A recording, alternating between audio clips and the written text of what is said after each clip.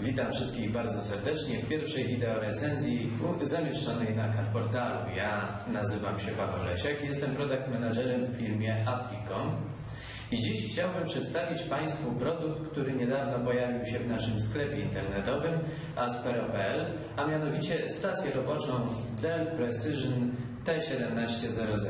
Seria T1700 dostępna jest w dwóch wersjach. Mini Tower oraz Small Form Factor, o której dzisiaj będę Państwu opowiadał. A zatem, nie tracąc czasu, zacznijmy od wyglądu zewnętrznego. Stacja robocza prezentuje się dość skromnie, żeby nie powiedzieć ascetycznie. E, czarny wygląd oraz e, dość surowy mm, wygląd powoduje, że właściwie od pierwszego wejrzenia e, odnosimy wrażenie, że mamy do czynienia ze sprzętem w pełni profesjonalnym. Właściwie jedyną ozdobą, jaka pojawia się e, z przodu jest logo Della. Natomiast na przednim panelu oprócz tego mamy dostęp do portów USB, czterech, w tym dwóch w wersji 3.0, wyjście audio i wyjście słuchawkowe oraz ze względu na małe rozmiary e, stacji roboczej płaski napęd DVD. E, Wspomniałem o małych rozmiarach. Rzeczywiście jak twierdzi producent, jest to najmniejsza dostępna stacja robocza na rynku i e, jej wymiary chyba to potwierdzają, ponieważ ma zaledwie niecałe 30 cm wysokości i głębokości i tylko trochę ponad 9 cm grubości, co sprawia, że e, można ją wstawić nawet w bardzo ograniczonej przestrzeni i nie będzie przeszkadzała w pracy. Z tyłu mamy nieco więcej gniazd, od góry dostępne są gniazda PS2, dwa display porty w przypadku mm, zainstalowanej, e, dostępnej, wbudowanej karcie graficznej można dzięki tym DisplayPortom podłączyć dodatkowe monitory. Dalej gniazdo VGA i port szeregowy, aż 6 portów USB, w tym również tak jak z przodu dwa w wersji 3.0, gniazdo sieciowe i tak jak z przodu wyjście audio i wyjście słuchawkowe. E, cała stacja graficzna jest czarna, e, boki obudowy są metalowe.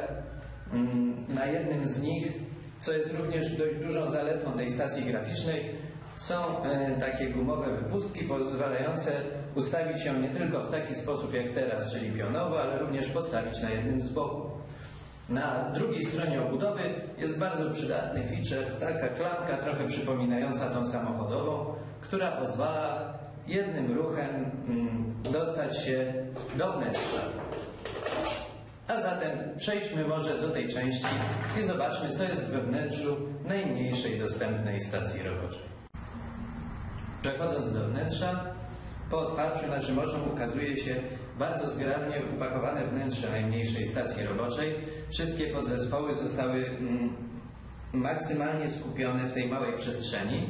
Niemniej jednak nie przeszkadza to umieścić w środku wszystkich najważniejszych podzespołów, jakie powinny znaleźć się w profesjonalnej stacji roboczej. A zatem przechodząc do rzeczy, spróbujemy wymontować poszczególne elementy, co nie powinno nam sprawić dużego problemu, bo mm, większość podzespołów, właściwie wszystkie z nich, E, da się mm, zdemontować w sposób beznarzędziowy. A zatem zacznijmy może od napędu DVD, ponieważ znajduje się on na samym wierzchu. Jednym ruchem jestem w stanie go wymontować. Odpinając kable mogę odłożyć go na bok, odsłaniając jednocześnie e, koszyk, w którym znajduje się dysk twardy. W tym wypadku jest to dysk twardy 3,5 calowy. Aby go wyjąć, należy odblokować specjalny zatrzask oznaczony na niebiesko i cały koszyk można z łatwością wyjąć.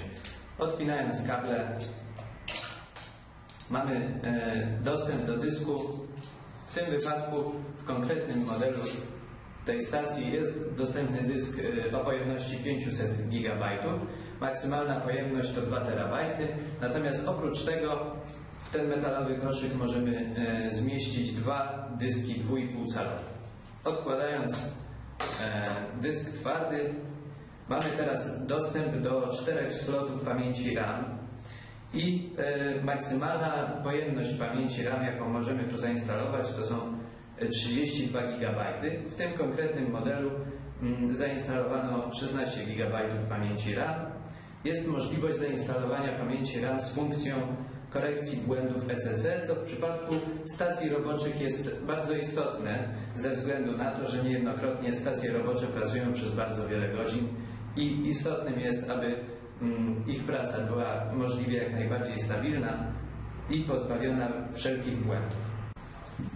Z lewej strony mamy dostęp do procesora. W tym wypadku jest to Intel Xeon E3 trzeciej generacji. Natomiast może to być zainstalowany również Intel Core i7 czwartej generacji. E, Znajduje się w plastikowej obudowie odprowadzającej ciepło na zewnątrz. Bardzo sprytne rozwiązanie Della e, kierunku- kierunkujące ciepłe powietrze bezpośrednio na zewnątrz w sposób tunelowy. Po wymontowaniu jednym ruchem tej plastikowej obudowy mamy już prawie bezpośredni dostęp do procesora. Poniżej znajdują się dwie magistrale kart rozszerzeń e, PCI Express e, z czterema liniami i z 16. Do tej większej magistrali mm, zamontowana jest karta graficzna NVIDIA Quadro K600. Dla wszystkich, którzy nieco interesują się projektowaniem, mm, jest jasne, że jest to profesjonalna karta do projektowania. E, K600 oznacza, że mm, karta ta jest z nowej serii opartej na architekturze Keplera.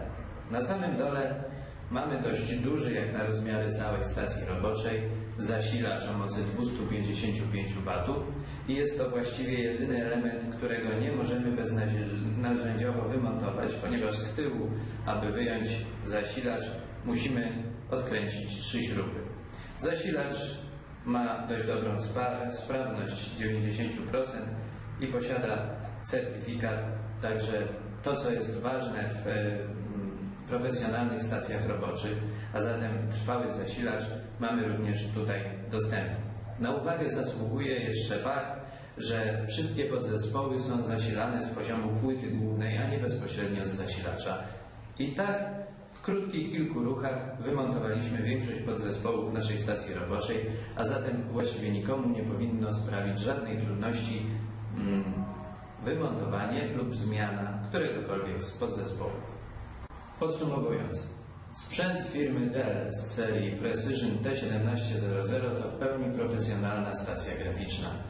Mimo niewielkich rozmiarów, wewnątrz znalazły się bardzo dobre podzespoły, sprawdzające się nie tylko w projektowaniu 2D, ale również w prostych projektach 3D, nie wymagających skomplikowanych obliczeń czy renderingu.